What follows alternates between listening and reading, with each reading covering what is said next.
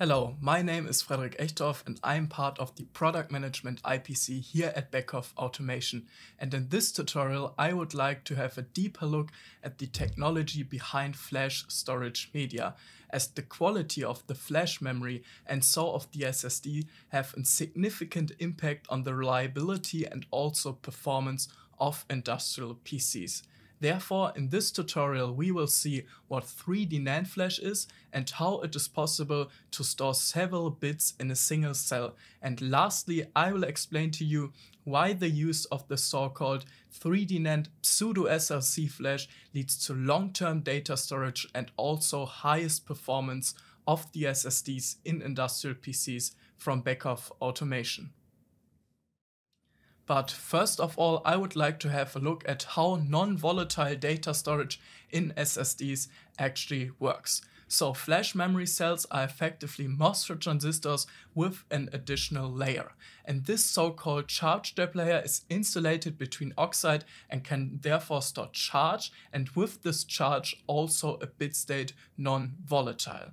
And to read out this bit state of the memory cell, a fixed voltage has to be applied at the control gate. And if the charge trap layer and so the cell is charged, the charge counteracts the current flow, which corresponds to the bit state of zero. On the other side, if there's no charge in the charge trap layer, the current can flow through the transistor, which is when the bit state of 1 is read out. But we have to understand that each time the cell gets programmed or erased, high voltages have to be applied at the memory cell. So for example, if we want to store a bit state of zero and so to get the electrons inside of the charge trap layer, high voltages have to be applied to get the electrons tunneling through the oxide layer into the charge trap layer or the other way around if we want to store a bit state of 1 so to get the electrons out of the charge trap layer also high voltages have to be applied. And these voltages lead to degeneration of the oxide layer, which actually ensures that the charge and therefore the bit state can be permanently stored in the memory cell. And if the oxide layer gets degenerated, electrons can tunnel out of the memory cell and so the stored bit state gets lost. So we can keep in mind that the more write and erase operations that are carried out on an SSD, the shorter the time for secure data retention gets. So SSDs are always about increasing the storage capacity, but with the planar 2D data storage, this leads to capacitive limits as the more cells that are close together, the more likely it is that there are interferences between neighboring cells. And these problems led to the idea of increasing the storage capacity by vertically stacking the memory cells on top of each other, which is today known as the 3D NAND flash architecture. And this architecture leads to increased storage capacity without affecting the service life of the memory cells. It also contributes to higher speed and higher reliability and therefore has been used reliably by Beckhoff Automation in their SSDs for many, many years. But to even further increase the storage capacity, it is nowadays even possible to store several bit states in a single cell by defining several charge levels. So first of all, there was SLC, so single level cell. The cell is either charged, then we have the bit state of zero, or there's no charge in the memory cell, which equals the bit state of one. Then the first innovation was MLC, where we have two bits by four bit states by four charge levels in a single cell. And today, most IPC vendors use the so-called TLC NAND flash, where we have 3 bits by 8 bit states by 8 load levels in a single cell. But this leads to a number of disadvantages as the distances between the individual load levels are very small and so even yeah the smallest electron outflow can lead to changes in the bit state and so there will be errors when reading out the bit state. For example, we want to store the bit state of 001 in the TLC memory cell. But over time, if we have a lot of program and erase cycles, the oxide layer gets degener degenerated. And so electrons can tunnel out of the memory cell. And over time, when we want to read out the bit state again, electrons tunneled out of the memory cell. And so instead of, yeah, they're stored the bit state of 001, we have the bit state of 010 read out. So the bit state cannot be stored reliably for many, many years.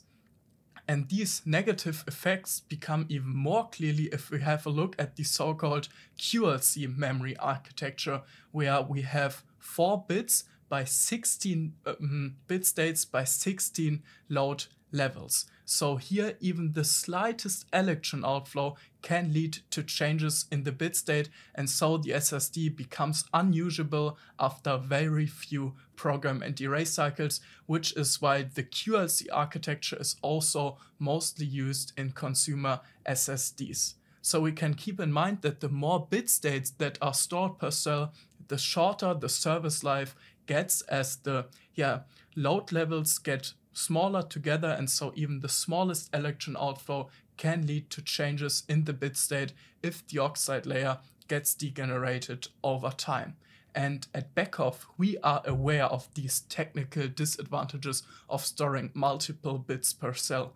And therefore, we believe that these architectures with multiple bits per cell do not fulfill the requirements for reliable data storage in industrial environments.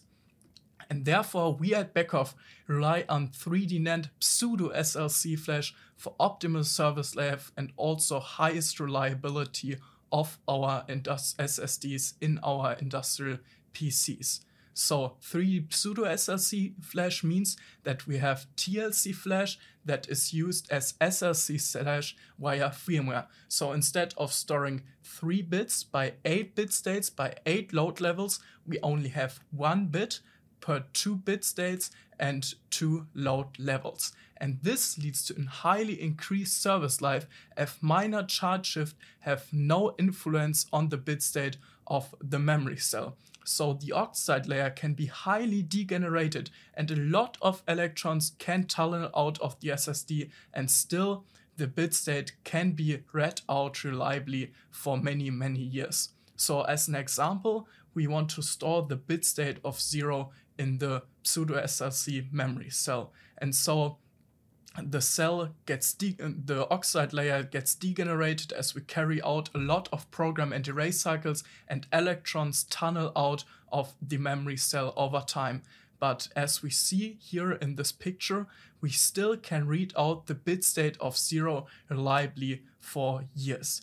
And also yeah, write operations are significantly faster as there's no need anymore to distinguish between several load levels. And at the same time, the used 3D architecture continues to guarantee optimal storage density and as we see here, the switch from TLC to pseudo SLC results in a service life that is more than 20 times longer, with the PE cycles increasing from 2200 to over 50,000.